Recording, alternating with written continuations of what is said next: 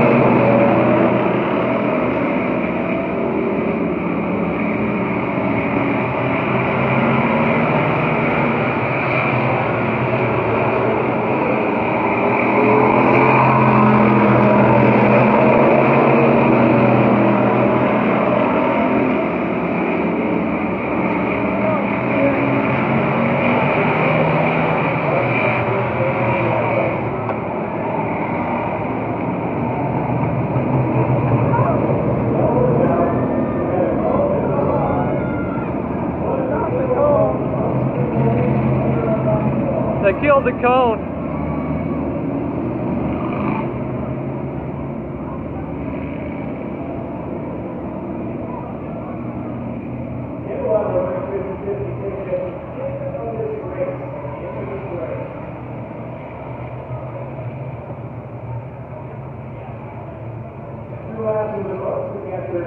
What's